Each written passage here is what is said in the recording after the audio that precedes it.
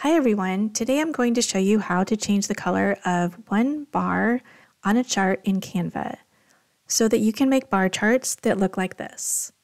There is a trick to it because when you select the chart, it appears that there's only a way to change the color of all the bars and not one specific bar.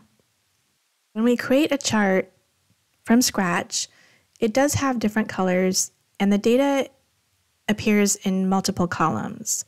I will clear this data and paste in my own data.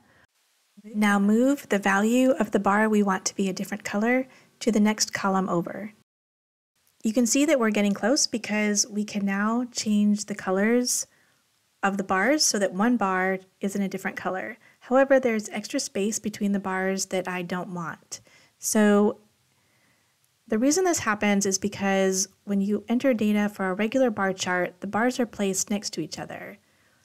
The trick is to change the bar from a bar chart to a stacked bar chart. This way, any data that we add in the second column will appear stacked above the data in the first column, and the bars will remain evenly spaced.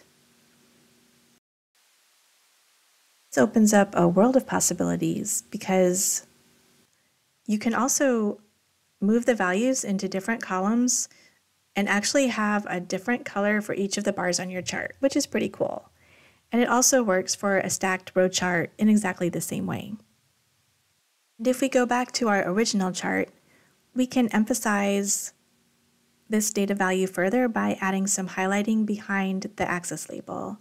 I'm just inserting a rectangle and I'll right click on it and choose layers, go to back. And then for the color, I'm going to choose a gradient color. It goes from red to white.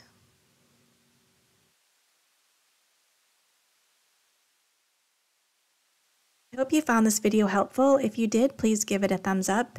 And if you have any questions, please let me know in the comments.